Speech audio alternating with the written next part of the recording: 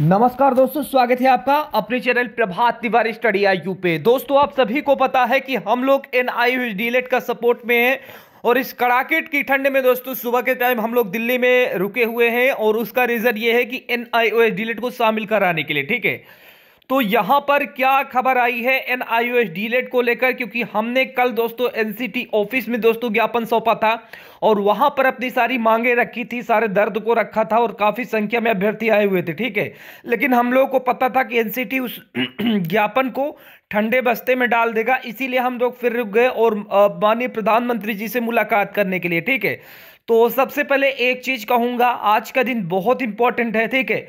और हम लोग आपके सपोर्ट में हैं, ठीक है? लगातार इस कड़ाके के ठंड में दोस्तों अभी भी ठिठुर रहे हैं यहाँ पर तो देखिए, हम भी कहीं दोस्तों किसी होटल में नहीं है, हम आप बच्चों के साथ में ही खड़े हैं, क्योंकि ज़ाहिर सी बात है कि जब अभ्यर्थी परेशान है कि हम लोग उनका सपोर्ट में आए, ठीक है? तो एक चीज़ बताना चाहता हूँ कि यार, जितने भी अभ्यर्थी हो, ठीक है, यहाँ नहीं आ सकते तो प्लीज़ एक काम तो कर सकते हो ना, जितने भी लोग वीडियो देख रहे हो तो ठीक है प्लीज़ वीडियो को लाइक कर देना चैनल को सब्सक्राइब कर देना, ठीक है, क्योंकि ये मोटिवेट करता है कि आप लोग हमारे साथ में, हमारे सपोर्ट में खड़े हुए हैं, ठीक है? तो जितने भी अभ्यर्थी हैं प्लीज़ वीडियो को लाइक कर देना। और यहाँ पर दोस्तों हम लोग यही आशा कर रहे थे कि एनसीटी कोई लेटर जारी करेगा।